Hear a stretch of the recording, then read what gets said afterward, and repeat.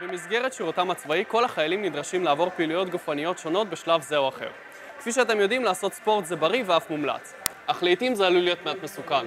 למשל, כאשר אנו מתאמנים או עושים פעילות מאומצת אחרת במזג האוויר קיצוני, אנו חושפים את עצמנו לפגיעות אקלים שונות. במקרים כאלה, הדרך הטובה ביותר לטפל במחלה היא למנוע אותה, על ידי בדיקה מוקדמת של השטח והערכת התאמתו לפעילות המתוכננת. למזלנו, קצין בריאות הציבור חשב על פתרון לבעיה, ובנה מכשיר בדיוק בשביל סיטואציות כאלה, ושמו קסטרל.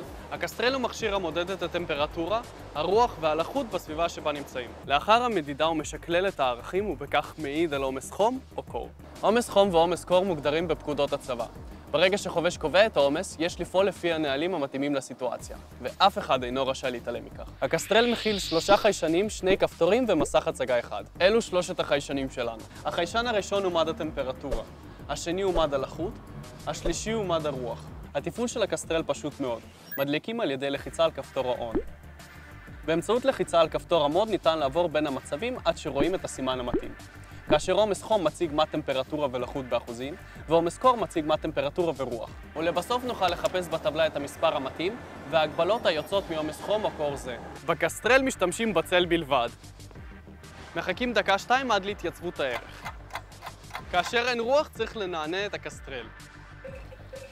בודקים את עומס החום או הקור באזור הפעילות.